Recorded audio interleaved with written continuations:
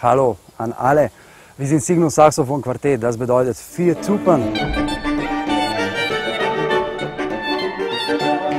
Wir haben unglaublich viel Potenzial, wir können uns alles nehmen, was wir wollen. Wir können unterschiedliche Effekte produzieren.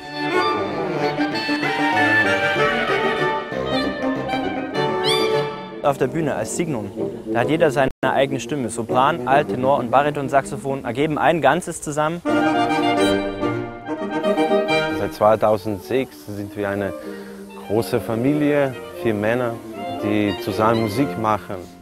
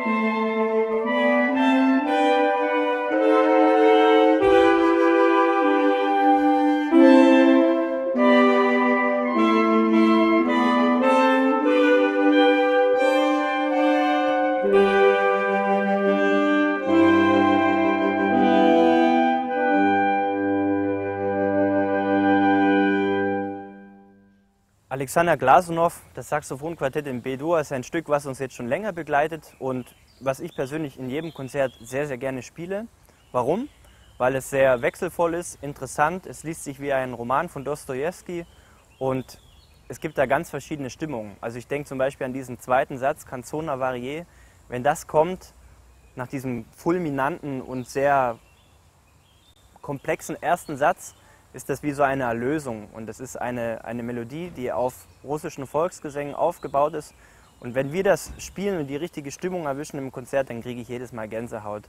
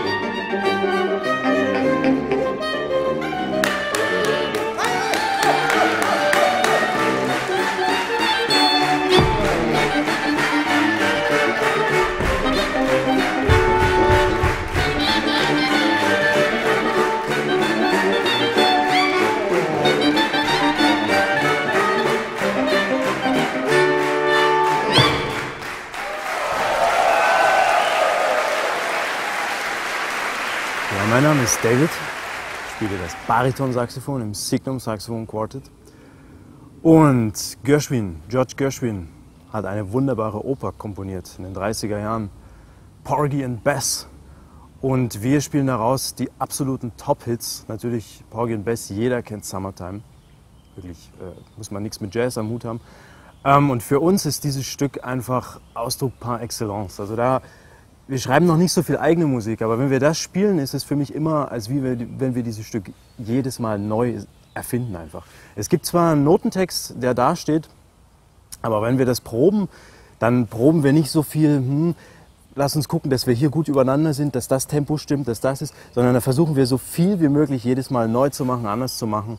Und das ist das Reizvolle. Also es gibt da ein paar Stellen, wo wir uns auch gegenseitig so an den Rand des Möglichen bringen, wo ich dann immer hoffe, oh, hoffentlich bleibe ich jetzt noch drin. Oder, aber das ist genau das Reizvolle. Oder schon ganz am Anfang in einem irre rasanten Tempo, Alan und Erik, das macht einfach Spaß. Und das ist einfach, worum es in der Musik geht, ans Limit zu gehen. Das ist für uns im Signum ganz wichtig.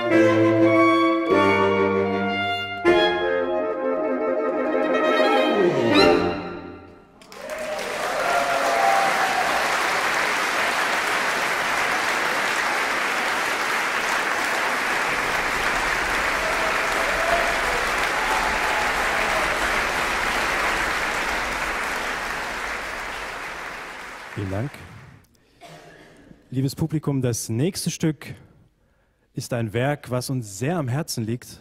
Ich möchte gar nicht lang hier ausufern mit meinen Reden, aber vielleicht nur ein paar persönliche äh, Impressionen zu Samuel Barbers Adagio Opus 11. Als ich dieses Stück das erste Mal hörte, ich glaube, ich war 13 oder so, konnte mit klassischer Musik noch nicht viel anfangen. Ich hatte mir gerade von meinem äh, hart erarbeiteten Feriengeld ein Turntable und ein Mischpult zugelegt und ein Keyboard und hatte sehr viele andere Interessen, aber irgendwie äh, bin ich auf diese CD gestoßen und das hat für mich oder in meinem Leben äh, einen entscheidenden Impuls gegeben, möchte ich mal sagen. Und zwar, es war eine Aufnahme von Leonard Bernstein und vielleicht kennen einige diese Aufnahme von Lenny Bernstein auch. Das Stück geht ungefähr so neun Minuten, acht, neun Minuten. Bei Bernstein geht es, ich glaube, zwölf oder dreizehn Minuten. Ich nehme an, als er es live aufgeführt hat, noch länger. Ähm, lange Rede, kurzer Sinn. Diese Aufnahme hat mich so beeindruckt und auch dieser Mensch, wie dieser Mensch mit Musik umgeht, dass äh, das Adagio Opus 11 für mich eines der Schlüsselwerke geworden ist. Überhaupt, äh, was man in Musik alles reinlegen kann. Ich bin der festen Überzeugung, in dieses Werk kann man so ziemlich äh, jede, jegliche Emotion reinlegen. Und wie gesagt, uns liegt dieses Stück sehr am Herzen und wir stellen es Ihnen frei, ob Sie danach applaudieren oder einfach mal die Stille genießen möchten.